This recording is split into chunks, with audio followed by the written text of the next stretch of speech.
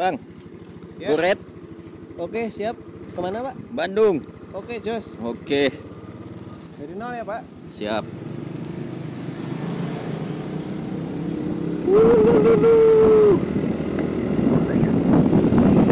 Dari Pangandaran kita akan melakukan perjalanan menuju kota Bandung menggunakan sepeda motor.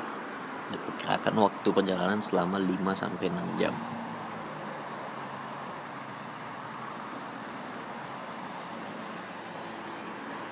Sekedar informasi sebelum pulang, patung raksasa ikan marlin sebesar 10 meter di Pangandaran ini dibuat oleh putra daerah. Nggak tahu namanya siapa. Cuma patung ikan marlin ini sebenarnya menggantikan patung ikan karya Nyoman Nuarta. Sempat ebo ya kemarin gara-gara Pak Nyomannya kecewa. Ini patung baru banget diganti di tahun 2017. Alasannya diganti ingin menunjukkan semangat Pangandaran yang maju dan sedang membangun. Ikan itu saat ini menjadi ikonnya Pangandaran. Kira-kira berapa liter yang dibutuhkan sampai Bandung? Kita lihat ya. Kita lihat ya. Habis kali tadi. Lihat dulu ya. Oke. Weh,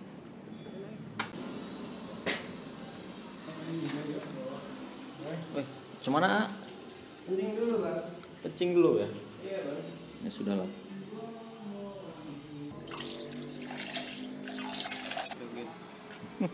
Terus ini bisa berapa lama? Eh, 30 menit, Bang. 30 menit. Iya. Nanti aja, Bang. Oke. Di Karang ini, Bang. Bagus di situ ya, Bang? Ya, kita cornering ala Rossi, Bang. Oke. Mainkanlah, Bang. Oh, iya. Apa? Bukan perjalanan jauh, kondisi motor, minyak, ban harus dicek. Takut ada apa-apa nantinya.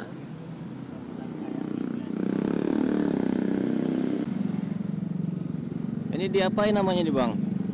Ini dibangun, Bang. Dibangun. Bangun tuh. Ini kita ngelewatin sungai Amazon. Amazon. Ya. Siap, siap. Thank you ya. Kemarin Viginya lewat situ. Pulangnya lewat sini.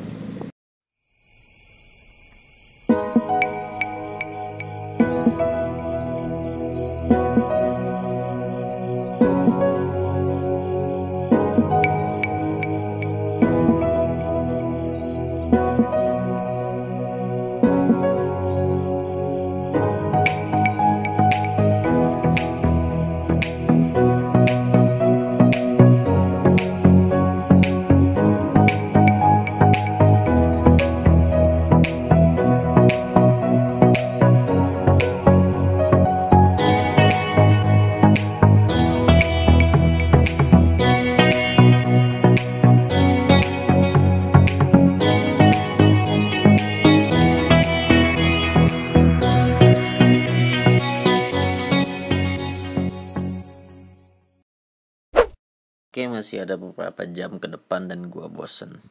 Selama perjalanan gua melihat banyak orang yang gak sayang sama kepalanya. Jadi gua akan melakukan survei. Ah, apakah penting helm itu atau tidak?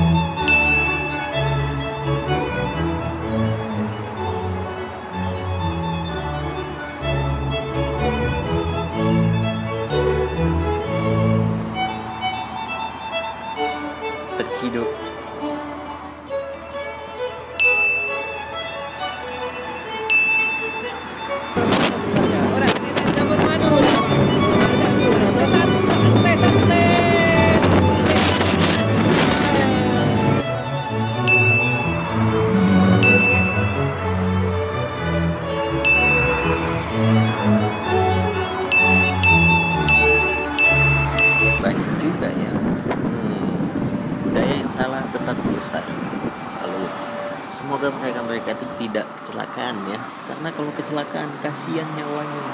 Surga nolak nyawa yang bandel. Negara Indonesia udah terkenal di neraka. Karena nyawa-nyawa yang datang itu banyak kan masih muda-muda.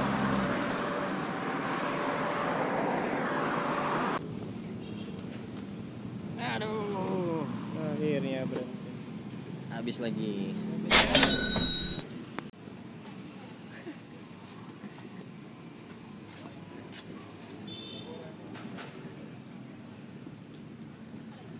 ke Indomaret.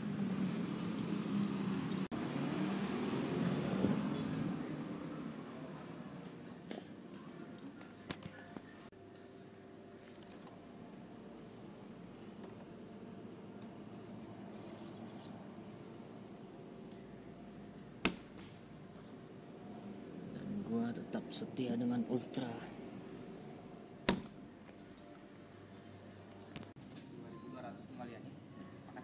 thank you.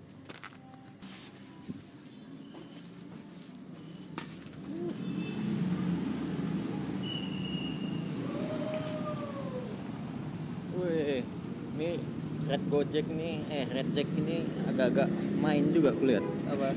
Siapa Agak-agak main stylenya. mana? Lu, gojeknya. Lah jadi yang gede. Gede aja lah.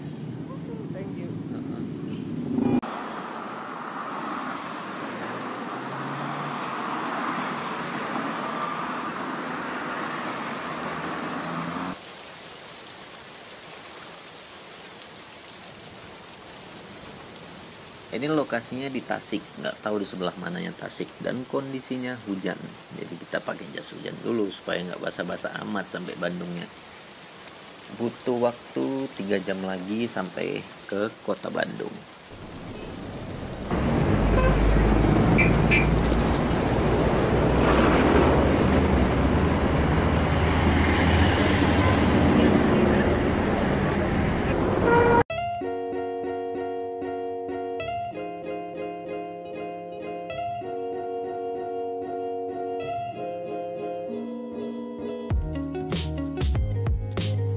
View-nya bagus sekali. Ini lokasinya di Nagrek, satu jam dari kota Bandung. Jadi gue berhenti dulu sambil nikmatin nih pemandangan.